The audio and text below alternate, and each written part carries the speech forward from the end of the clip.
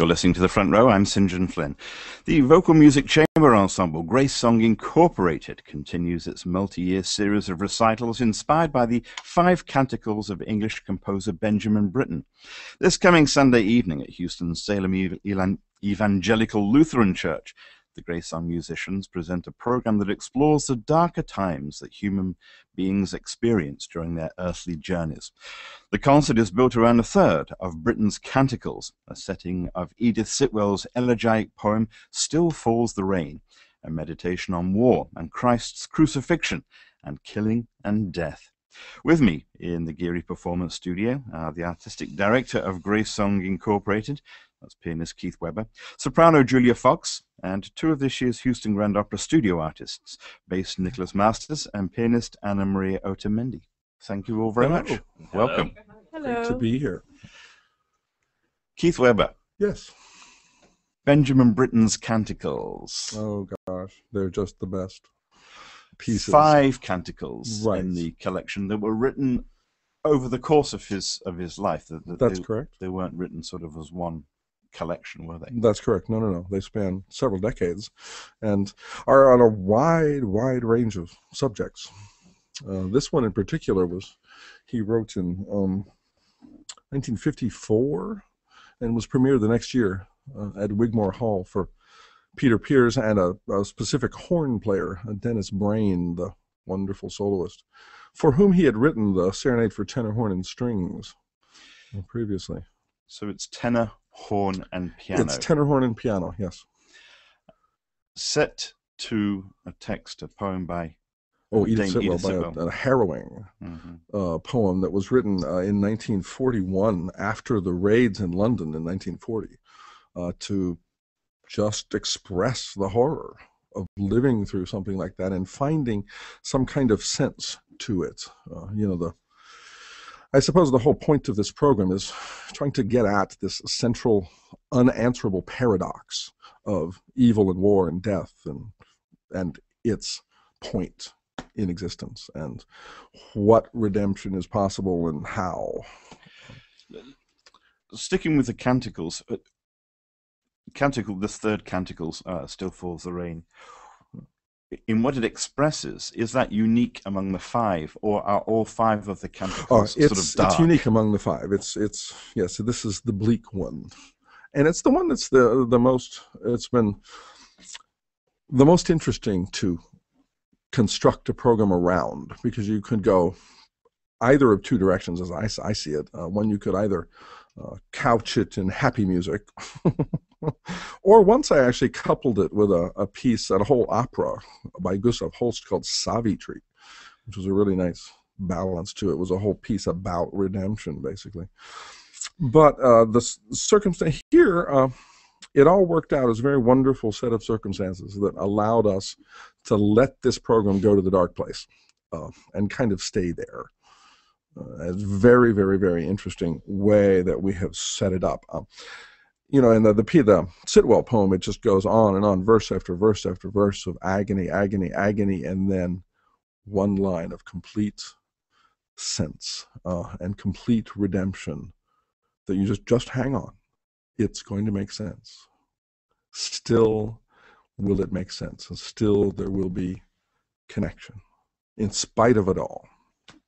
It's a, a remarkable message. And how does this canticle then fit into the rest of the program? What else is on the Um, program? Is We've added um, um, Nick Masters and Anna Maria Otamendi had uh, prepared in the fall the Mussorgsky Songs and Dances of Death. They, you know, they have a wonderful uh, song recital series at Rienzi that the HGO studio do annually, uh, a couple of times a year. And it was uh, because of the Newtown shootings. It seemed prudent uh, that week to not sing these pieces. because, because that recital the- was, was right. scheduled right after, within a couple of days. recital Right. was literally the evening of, Right. or Of. th- that morning had been the Yeah. shootings, and that evening was the recital where we were supposed to do these pieces. And Right. um, I'm actually from Connecticut. I'm not too far from Newtown, and Right. the whole atmosphere of how that touched um, our nation and how it touched honestly, me and and Anna Maria just didn't feel appropriate to to perform the pieces then, and so we kind of took it as a uh, oh, oh well, you know, we'll perform them somewhere else, and uh, thankfully. Um, Keith got wind of it and it made its way into this program. So. Yeah, well, the minute I heard of it, I just thought, hmm, wow, uh, there's an opportunity here, not only um, to not let their good work go to waste uh, or to to actually have be heard, but actually to make uh, to incorporate into this program uh, some very very colorful stuff. And so We're I asked to, them, and they agreed, and we basically rebuilt the whole program from scratch. we're going to Oh. hear a couple of pieces uh, of them from the Mussorgsky collection. Um, set the first one up for us, uh, titled Lullaby. Nick, or, Or Anna Maria. Go ahead. Um, well, this piece is one of Mussorgsky's masterpieces in the genre, the whole Songs and Dances of Death. And um, especially because it depicts very specific emotions and situations with, through the music. So at the beginning, you're going to hear a very bleak landscape, a very poor house with a little candle, and a dying child. And basically, the song is a dialogue between death and a desperate mother that doesn't want the child to be taken from her. So I think you're going to hear Nick portraying these two characters in a very distinctive way. Well, let's hear this Mussorgsky then. Lullaby. We will hear uh, Nick Masters bass, Anna Maria Otamendi at the piano, and you're listening to the front row.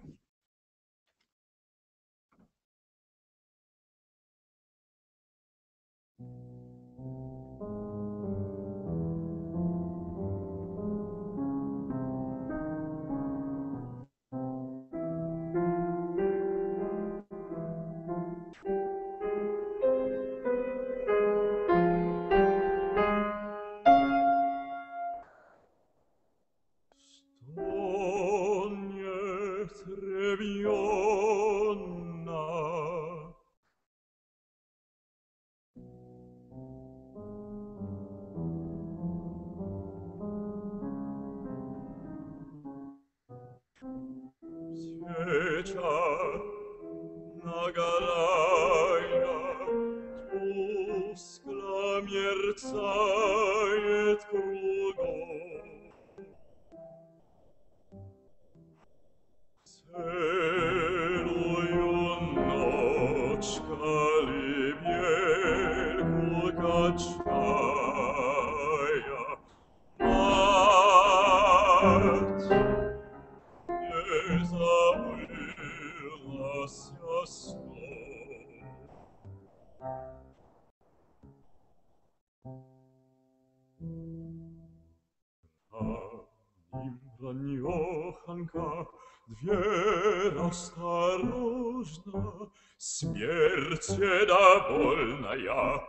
Stucz!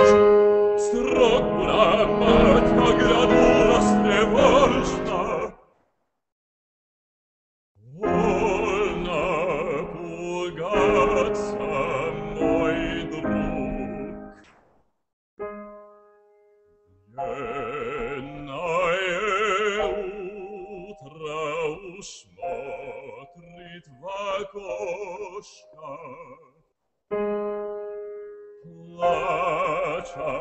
тоскуя, любя, ты утомила. Вздремни-ка немножко, я посижу за тебя.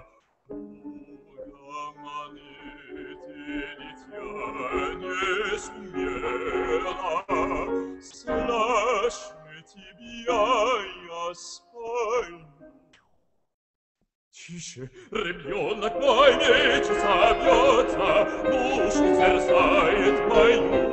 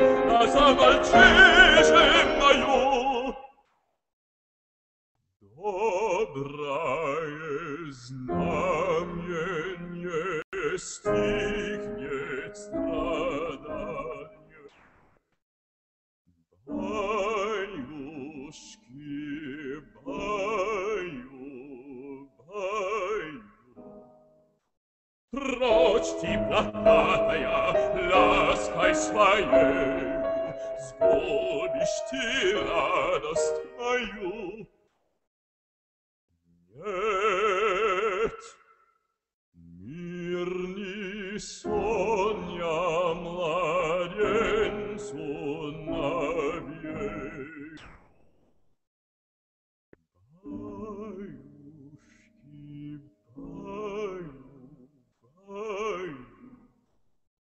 Жальця, бажи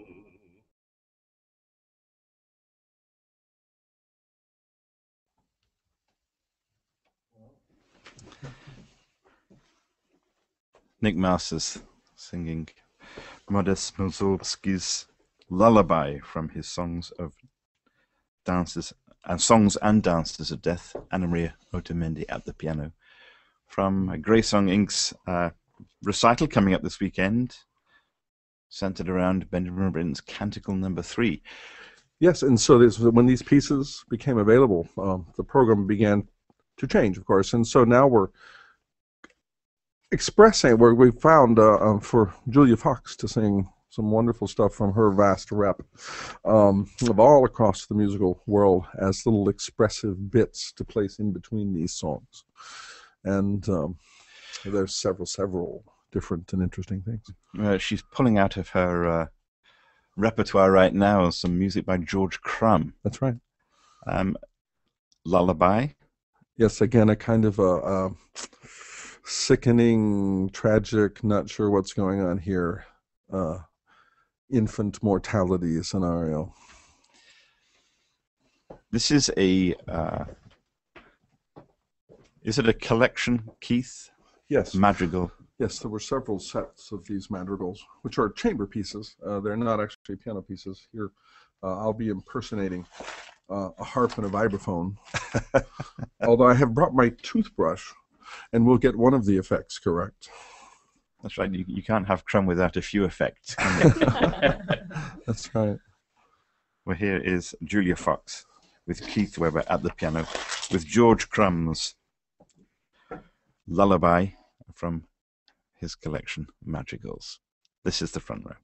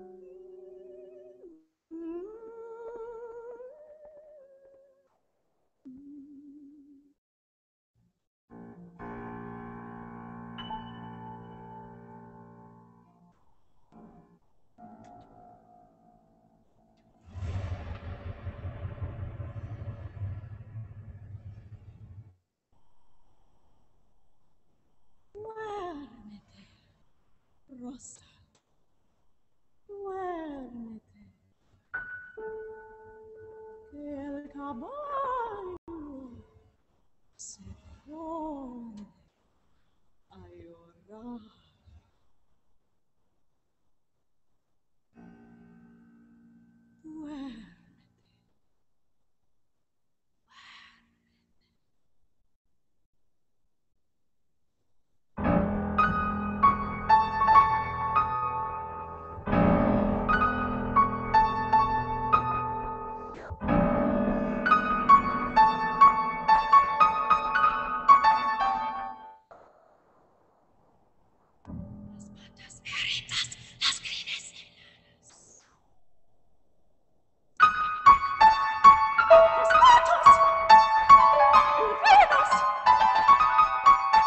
las crees heladas dentro los ojos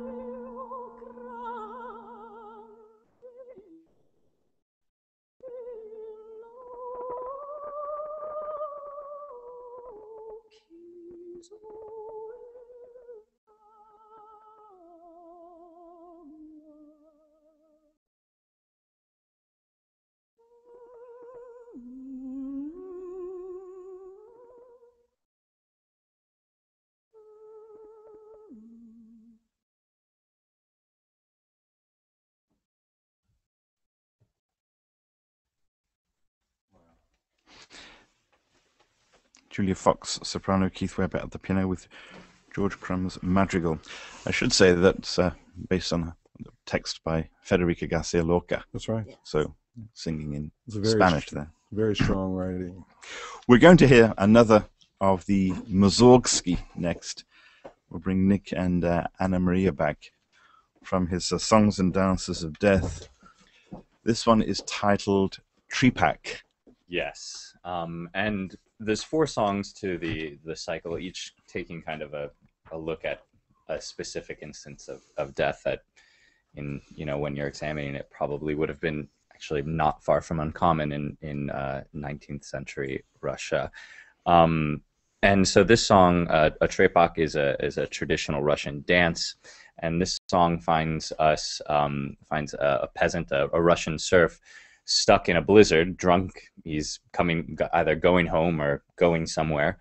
Um, he's drunk. He's dancing, and uh, death starts dancing with him. And eventually, the blizzard wraps him up, and and death kind of puts him to sleep under a blanket of snow, and he dies dreaming of of the harvest and of um, of the beautiful you know beautiful sky and doves flying. So. That's good vodka. Let's hear this uh, then. Uh, Tripak from uh, Songs and Dances of Death. Bass, Nick Masters with Anna Maria Otamendi at the piano. This is the front row.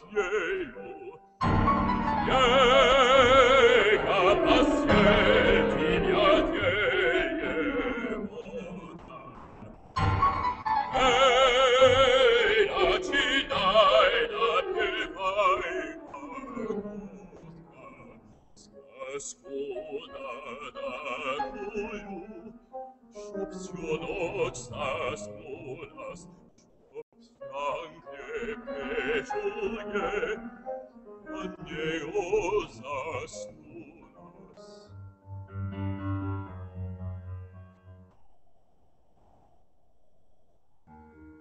O vilieca, niemiecana, зелота снежок не тучи, Поезда буховою, снежной буховою, как танец навею,